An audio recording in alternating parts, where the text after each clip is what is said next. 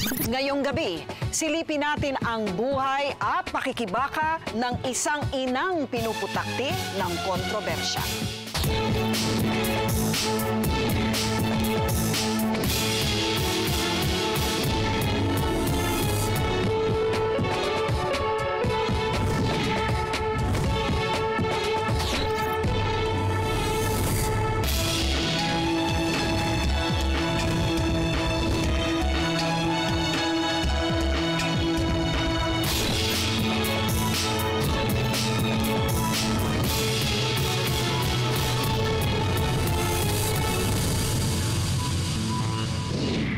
Samot-saring reaksyon ang nakukuha niya tuwing may bibigkasin siyang salita.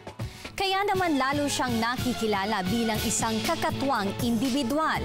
Ito ang anggulong aking susuriin.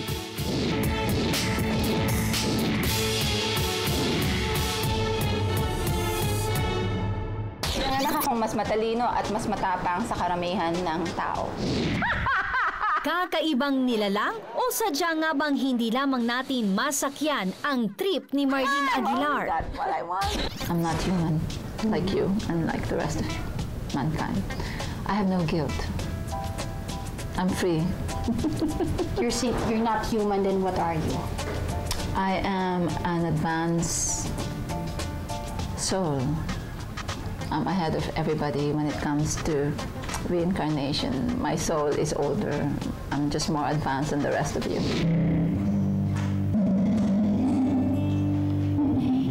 Tulad ng kapatid niyang mga awit na si Ka Freddy Aguilar, isang alagad ng musika at sining si Marlene.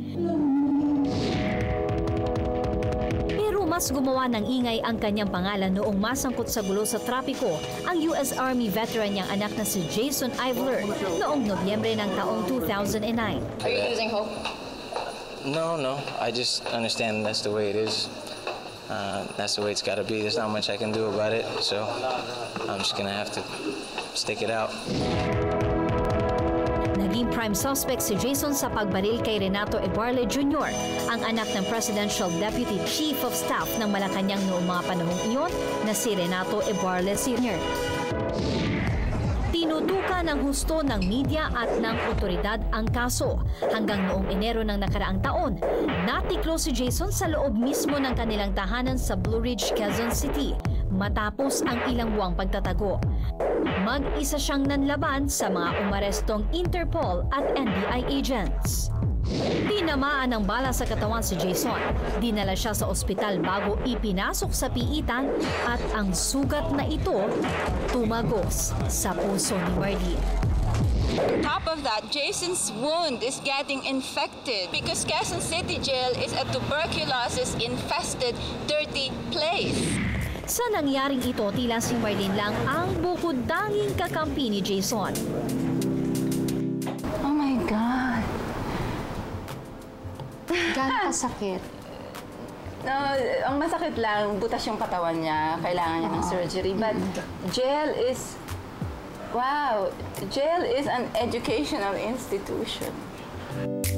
Hinarap ni Marlene ang kasong obstruction of justice. Itinago raw kasi niya ang anak upang hindi mahulog sa kamay ng otoridad.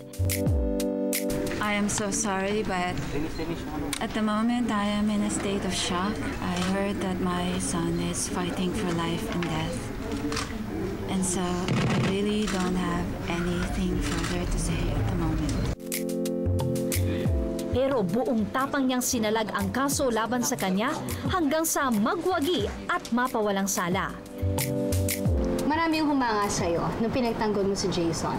They, they, they were saying na eto yung nanay. Ganito ang kung paano maging nanay dapat. Walang iwanan. Wala dapat iwanan. Ano man ang gawin ng anak, hindi dapat ang nanay iwan ang anak. Tama o mali. Ang ina dapat nandyan parati yan. Pero nung sinasabi nila na baka kaya naging ganyan si Jason dahil kay Marlene. Of course. Of course. Dito niya pinatunayan na hindi madaling banggain ang isang Marlene Aguilar. Matindi raw ang galit ni Marlene sa ating gobyerno. Today, I exist to destroy the system of the Philippines. And I have no doubt that I will do it. System specifically, The government. I hate the government of the Philippines. I believe that the only way to save the Philippines is to destroy the government that has not worked ever since and we start anew. Sa libro niyang isinulat na Warriors of Heaven na inilathala noong taong 2009, inilahad niya ang mga saloobin at pangitain tungkol sa gobyerno ng Pilipinas at ng Estados Unidos. And if you read my books, you will read that the oracles predicted that all my enemies will fall because I was born into this matrix to fulfill a great destiny and any, anyone who stands in my path will die and they have been dying. Matatandaang ang kanyang pambihirang tapang, dinala niya noon sa harap ng US Embassy upang ihingi ng tulong ang kanyang anak na si Jason na minsan naglingkod bilang sundalong ipinadala ng Amerika sa Iraq. Dito no holds barred niyang ipinahayag ang kanyang saloobin at animoy katipunera siyang naghamon ng himagsikan. Kahit sino, kahit saan, wala ata siyang uurungan. Walang preno niyang hinamon ang ama ng di umano'y nabaril ng kanyang anak. Actually, ito lang po ang message ko kay Mr. Ibarle. Kung napipikon ka na hindi miserable ang anak ko sa jail, suntukan na lang tayong dalawa, di ba? Kahit dalawang round lang sa Elordi Gym. Maging si Presiding Judge Bayani Vargas, ang huwes na dating may hawak sa kaso ni Jason, hinamon din ni Marlene. Sinabihan din niyang bakla at walang kwenta ang ilang US officials. Because he is worthless. U.S. Ambassador, Harry, pussy, get the hell out of the Philippines. If you cannot protect the U.S. citizens and the U.S. bar veterans. Pinagmulta pa nga siya ng korte ng 20,000 piso dahil sa nangyaring panghahamon. Pero kung kaya niyang hamunin ng harapan ang kanyang mga kaaway, may mas matinding paraan daw siya para makaganti. I am a conduit of cosmic forces, that I have the ability to command the five elements, therefore I can give life and I can give death. Sa kanyang ritual at dasal, marami na raw ang nagdusa. So, mangkukulam ka din. So what? Yeah. Yeah. Darating daw ang ganti sa mga umapi sa kanilang mag-ina. You meditate. I meditate. I separate my soul, my spirit from my body, and I attack the person in his own home. Kaya sila namamatay sa atake sa puso is because I strangle them while they're asleep. And you do that sa mga kumawawa sa anak mo kay Ivler, Oh, kay yes, Jason. they will all die. Pagbibida pa ni Marlene, hindi raw siya katulad ng mga pangkaraniwang tao dahil ang kanyang espiritu may kakayanan daw lumipad at maglakbay. And It's, when it's you decide? metaphysics. It's quantum physics. Your energy, your thoughts is you don't. Your thoughts is that's energy that you project into. Malaya rin daw niyang ipinahahayag ang sarili sa pamamagitan ng fashion. Oh my God, Jason and I had an argument because nag, may nagpadala yata sa kanya ng mga Sexy photos? ng mga pictures ko sa Facebook. Sabi niya, since when did you care about brand names? Since when did you care about Prada? Since when? Sabi niya, just go. Sabi niya, Mom, sabi niya, you used to be able to go out wearing nothing. You were so simple. What's wrong with you? What has changed?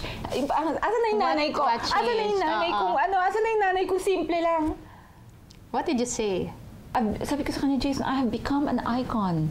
If I am going to be this icon, then I should also look beautiful because that's what people want to see.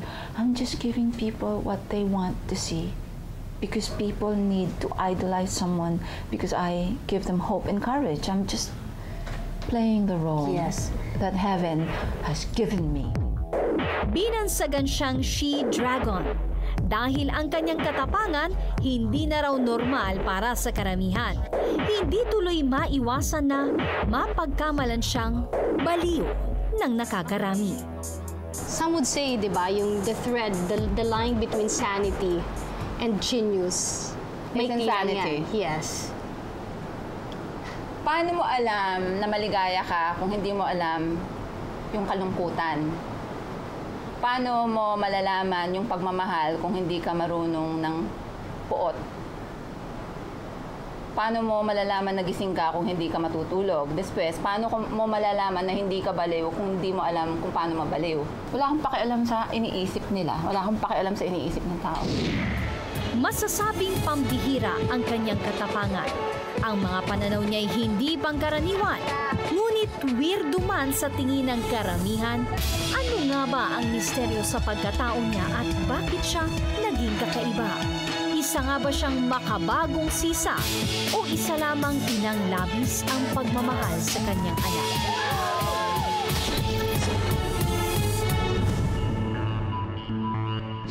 Talagang baliw siya. Totoo, kasi totoo siyang tao eh.